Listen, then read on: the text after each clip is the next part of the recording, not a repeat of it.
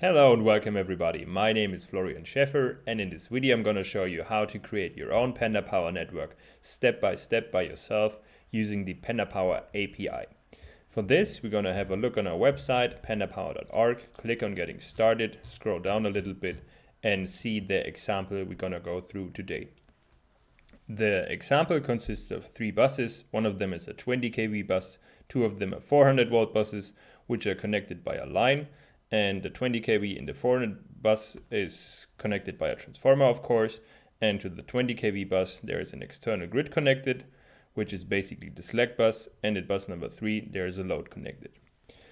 So how, to, uh, how do we implement this? First we're going to start our editor and import Panda Power as always but this time we're going to create an empty network instead of importing the network suite which is done by the command create empty network and if we want, we can print it and we can check what's inside it, nothing.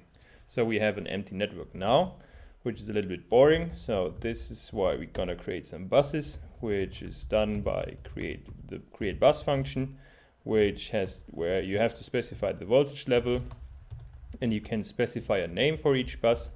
So we're gonna do that three times. What the 400 volt bus, it's called bus two and we're gonna do it a third time for bus number three. So now we have a network which has three buses in them, which you can print if you want. So if you do now print net bus, you see all of the buses in the pandas table. This is still kind of useless because you cannot run a power flow and there are no elements connected to the buses. So what we want to do is we want to create the uh, external grid as well as the load. The external grid is created with the command create external grid or xgrid and we have to specify here the bus where we want to connect it to and we can but we don't have to specify the set point the voltage set point in magnet in per unit and also a name which is here grid connection to create the load, we call create load, where you have to specify as well the bus where you want to connect the load to. And here you should or you must specify the power of the load and the reactive power as well. But this is optional. It's set to zero as default value.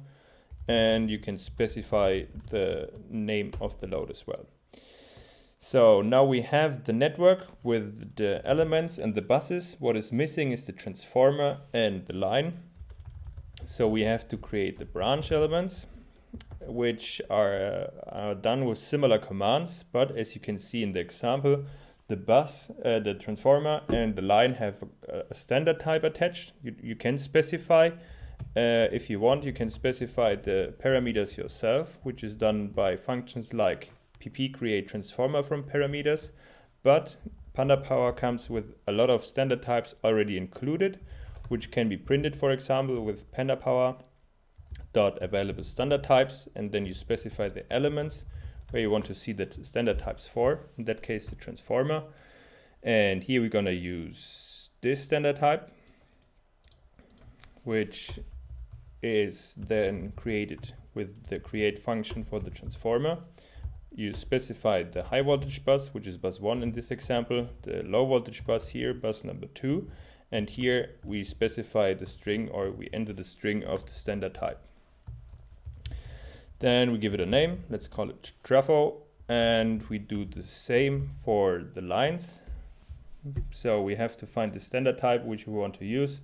In this example, it's this one here, I think. No, it's this one. So we're to use this standard type to create the line. When you specify the from bus as well you specify the to bus of the line and the length. So this one is 100 meter and the standard type is this one and you give it a name. Let's call it line. Okay now if we print the net again we can see that it has now all the tables in them, The bus, the load, the external grid, the line, and the transformer, but we don't have results. So we want to do a Panda Power run pp and print the results again. And then we have the results for each element in the result table.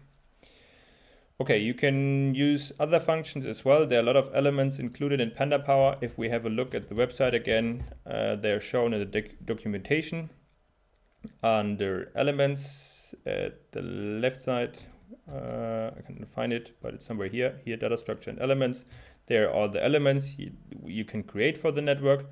And another tip is if you're on the website and click on getting started and scroll down a little bit, the, here are many tutorials to create a networks. For example, here a little bit more advanced one, which are implemented as Jupyter notebooks. So it's also a step-by-step -step guide how to get or how to learn how to use the API.